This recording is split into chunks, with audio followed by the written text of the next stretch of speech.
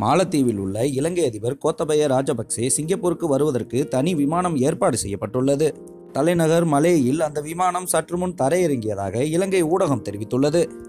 ராஜபக்சேவும் அவரது மனைவியும் நேற்று இரவு சிங்கப்பூர் ஏர்லைன்ஸ் மூலம் சிங்கப்பூருக்கு வர இருந்தனர். பாதுகாப்பு அக்கறையால் அவர்கள் அந்த விமானத்தில் பயணம் செய்யவில்லை. இதனையடுத்து அவர் மாலத்தீவு அதிகாரிகளிடம் ஒரு தனியார் விமானத்துக்கு வேண்டுகோள் விடுத்ததாக தெரிகிறது.